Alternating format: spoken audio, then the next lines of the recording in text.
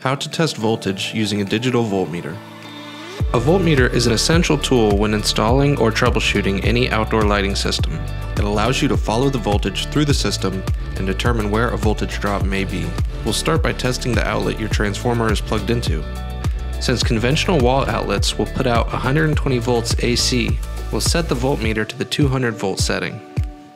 Insert the first probe into the left hole on the outlet and the second probe into the right. You should get a reading around 120 volts. To test the timer socket, unplug the timer and insert the probes into the bottom two holes. You should still get a reading around 120 volts.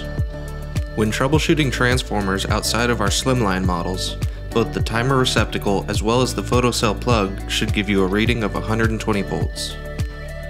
With the timer reinstalled and set to the on position, you can now test the transformer terminals.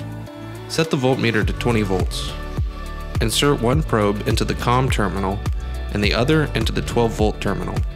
You should get a reading around 12 volts. With the first probe still in the COM terminal, move the second probe to the 15 volt terminal. You should now see a reading around 15 volts. Since we've ruled out any issues at the transformer, we can move down the line and test the end of our wire run.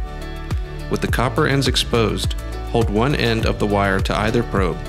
You should get a reading around 12 volts.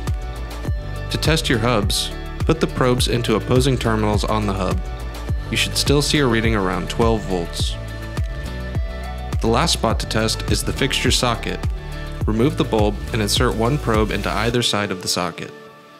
If you see a reading of 12 volts, then your system is operating normally and all your connections are secure. If you notice a drop in voltage, you may need to check your connections. If the wire leads are blunt and frayed, you may need to trim the wire back and restrip the wire for a new connection. And that's how to use a voltmeter. If you have any questions about voltmeters or any amp products, give us a call at 813 978 3900.